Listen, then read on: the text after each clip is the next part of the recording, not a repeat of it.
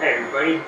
So um, yeah, I uh, I got a new 3D printer. I've been 3D printing like crazy since uh, since I've been back in business. I broke my old one, um, and uh, so I've been scaling up. I've been printing bigger and bigger pieces. Um, I started with some little guys, you know, some and then some like just ruined stuff that I had found on like Thingiverse mostly and uh, and then this this piece is officially like the biggest 3D print that I have ever attempted. Um, this stuff is um, this is from RM Printable Scenery. Yeah, RM Printable Scenery, and uh, this is um, the uh, ruined Garsley Stronghold. It's a um, it's just a massive 3D print like uh, this this is scaled for 32 mil. So like a, a 32 mil mini mini can fit in between all of these and like it's almost like you know like a whole square foot big. But what happened was is that I ran out of filament when I was printing this guy and I was 19 hours in. This is a 19 hour print 19 hour failed 3D print, and this is most of a spool of, of filament. So uh, I was going to do a video about this, like painting this guy up, but um, you know, as with anything, um, when you're doing a large scale piece, you probably want to do some smaller scale test pieces first. Or if it's something really expensive, you know, same thing. So, uh, so Hobby Lobby had a a sale on um, spray paint. everything, uh, everything Krylon was on sale. So I just kind of stocked up. I grabbed a whole bunch of stuff that I wanted to experiment with, like different kinds of spray paints, like stone texture, um, like a sort of chalky, chalky kind of slate finish spray paints, and uh, all kinds of stuff like that. But I got some pieces that, that fit in perfectly with all of my other all my other terrain stuff that I've made by hand, um, like uh, stuff that I 3D printed and like, you know, added texture by hand, like using like sand, like fine grit sand and stuff like that, and, and airbrush and everything. But I did this, this method is, uh, is all uh, spray paint. So if you're one of those people who is resistant to buying an airbrush, I would say buy an airbrush because it's an amazing tool. But but you could do all of this using only spray paint. So uh, so yeah, we'll uh, we'll get into it. We'll we'll do some spray paint, 3D print texturing. So yeah, I mean this is the biggest 3D print that I've ever attempted. Um, like I said, like sections of this, not even like the whole thing just like certain sections of this piece took like 19 hours to, to print or, or failed at 19 hours. So, you know, I don't want to mess up my big scale piece. So I, I started like, or also with the 3D printer, I was working up. I was working up in scale. I was, I was doing bigger and bigger pieces. Um, but so I started out, these were some of the guys that I printed out first before I even attempted to to print this um, this gigantic 3D print. So this is um, this is on Thingiverse. These are some little modular ruins. Um, awesome 3D print, you know, to have in your game arsenal. Um, they're just walls that snap together. There's you know different pieces, and then they have they have a version where the um, without the clips and with the clips, and then there's there's multiple um, wall shapes. Uh, including solid walls, filled in arcs, you know, open ones, and uh, so I printed out a, a, few of these guys, planning to use them later just as like freestanding stuff, and then you know without the clips, and uh, I might do some with some clips later. I'm not sure. So, but uh, I these were the guys that I was experimenting on with um, making my um, 3D texture with spray paint. So uh, yeah, so I printed up a bunch of these guys. I'll put a link in the uh, in the description of the video for um, for this, and and you know this guy, the guy who, who made these, um, get, give him kick him a few bucks if you if you print this out because it's an it's an awesome 3D print. So first off, everything is going to get a coat of uh, sandable filler primer, and um, uh, sandable filler primer just has an element in it that kind of fills in the cracks a little bit. It's for um, automotive use, like when you you can sand it down and then kind of fill in imperfections. But uh, the thing that's new to me is um, this uh, stone kind of like crackle paint in a can. Um, it wasn't too too expensive. You know, it's a little bit more expensive than regular spray paint. But uh, but what I did was I um, I went ahead and um, put some of the stone crackle stuff down, and then I kind of uh, dusted it with a little bit of um, sawdust just to add a little bit of texture to that and like it already has some texture to it you know? So uh, and, and then i just kind of try to like dab at that to see what kind of effect that had and um, but yeah i mean the the combination of the three I mean the combination of the the sandable filler primer and the crackle stone texture and then the sawdust gives you a really good looking uh, stone texture. I mean it looks very very realistic like a stone. You can't tell that it's 3D printed.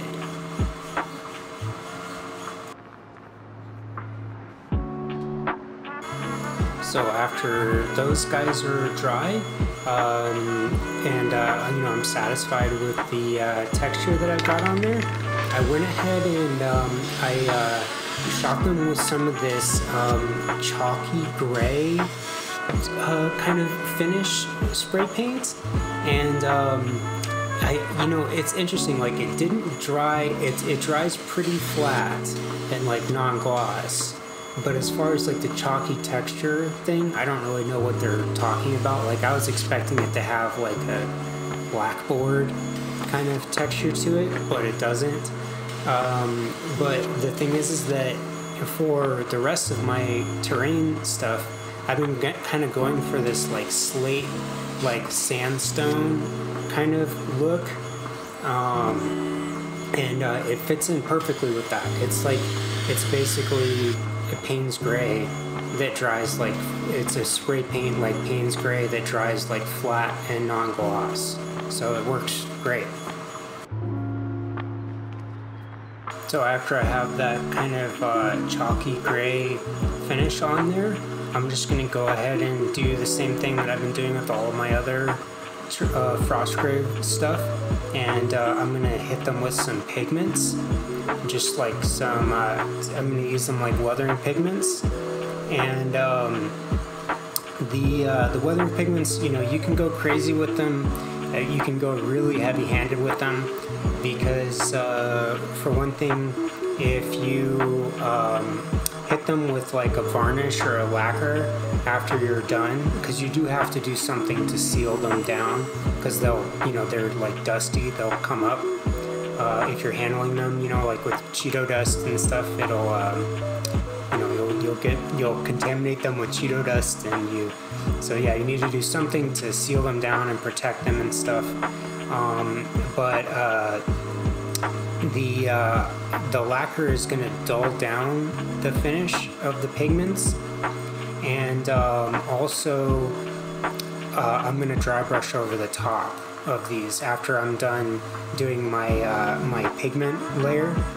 So I'm going to seal them down with some lacquer. Well, I'm, I'm going to do everything. I'm going to do the um, pigments and then I'm going to dry brush and then I'm going to seal everything with some, some dull coat lacquer to protect things from uh, you know Cheeto dust like when we're gaming and stuff and uh, and also you know I tried to do something a little bit different this time uh, with my. Um, so I was going from dark to light, and uh, I tried to put in more shadows, but I learned something kind of interesting when I was doing this. Um, so apparently, when people were building castles, you know, in like the Middle Ages, um, they would use different types of stone, and then uh, like in French, they call them the pif, the paf, and the pouf. Don't ask me which is which, but the uh, basically the stronger, the the more high iron content rich stone would be towards the base or, or like the the outer wall area. And then the uh, the softer stone the well the, the medium grade stone is has more of a brownish tint to it. And that might be the path the pith the path and the poof um, but the uh, the lightest stuff and the most like sandy looking the sand the the stone with the highest uh, sand content would be either on the top of the castle or it would be in the inner walls.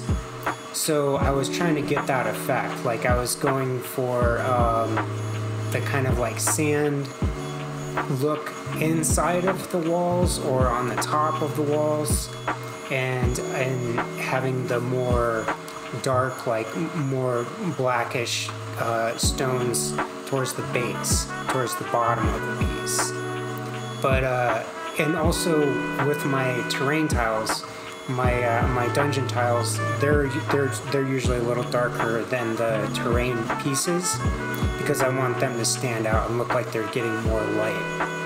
But uh, but yeah, I mean, definitely a cool experiment, and uh, and I I really like how they look.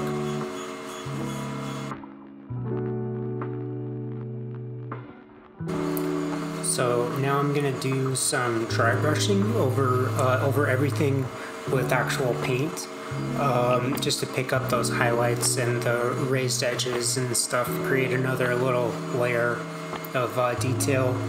But uh, also, this is gonna dull down the pigments too. So yeah, like when I varnish everything, that's gonna dull them down, and then dry brushing over everything is gonna dull them down too. So I can I tend to go a little bit heavy-handed with the pigments just knowing that they're not gonna be they're not gonna look that way when I'm done. So um, I'm mixing up a little bit of uh, Payne's Gray and some um, titanium buff or tit- um, unbleached titanium white to get a, a nice looking uh, natural stone highlight. And the, the Payne's Gray has a little bit of like blues in it. It has a little kind of bit of like greens in it so it has that that slate look, that kind of um, uh, you know, it has a, like a natural stone look, as, as opposed to just like a white or like a gray, you know, or a black.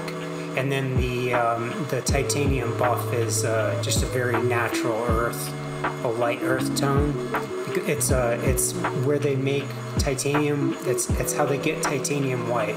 Is they dig titanium you know, out of the ground, which is like a whitish color, and then they bleach it out. So it's just a very natural looking pigment for stone. And uh, and yeah, I'm just gonna dry brush on these guys, and um, I am kind of working top down. So I'll, I'll load up. I, I have a makeup brush, like a, a large uh, makeup brush that I use for terrain pieces like this, and it just has really soft bristles. It doesn't hold a lot of paint. It's more designed to hold like makeup than paint. And then I'll start at the top and I'll work my way down. So I want my highest highlights to be on the tops of these pieces. And then I'm, and as I work my way down, the, the, the highlights are going to be more and more subdued as I work more of that dry brush off of the actual brush as I get towards the base. So I want my, my highlights to be intense on the tops of the pieces and then, you know, more and more muted the farther that I go down.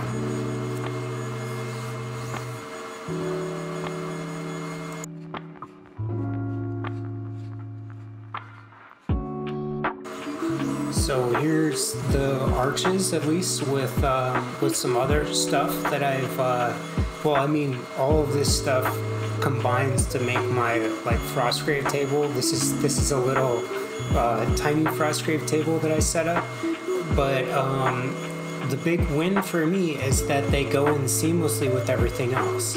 And like everything else I did with airbrush, or I did it by hand.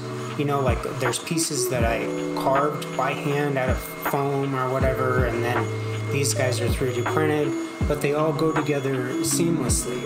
And by the way, you know, if you're interested, there's videos for pretty much everything on this table on my channel.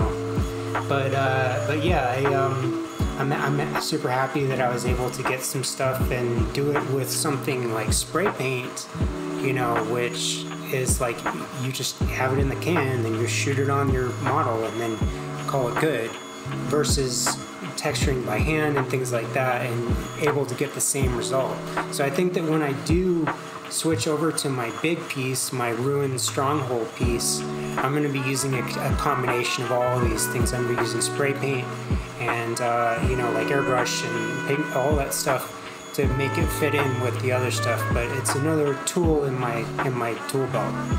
But uh, yeah, anyways, um, thanks for watching and uh, take care of yourselves and uh, yeah, stay safe.